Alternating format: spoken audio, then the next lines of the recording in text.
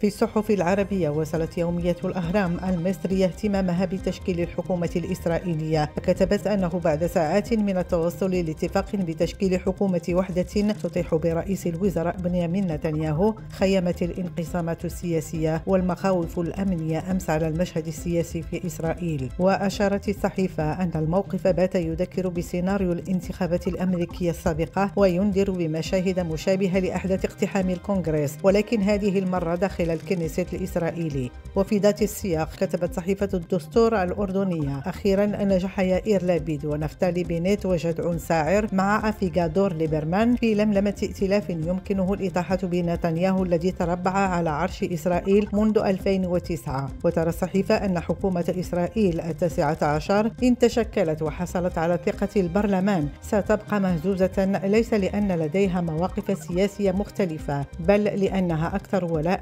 وتطرفا في رفض التعامل السياسي مع الشعب الفلسطيني. صحيفة الوطن القطرية ترى أن الاحتلال الإسرائيلي يشهد حكومة جديدة دون بنيامين نتنياهو بعد أن أبلغ زعيم المعارضة يائير لابيد الرئيس الإسرائيلي بتمكنه من تشكيل حكومة ائتلافية. وأضافت الصحيفة أن إعلان لابيد جاء بعد حصولها على توقيع رؤساء أحزاب كتلة التغيير بما فيهم نفتالي بنيت مشيرة إلى أن أمام لابيد وائتلافه 11 يوما للاتفاق على التشكيلة النهائية للحكومة لعرضها على الكنيست والتصويت عليها.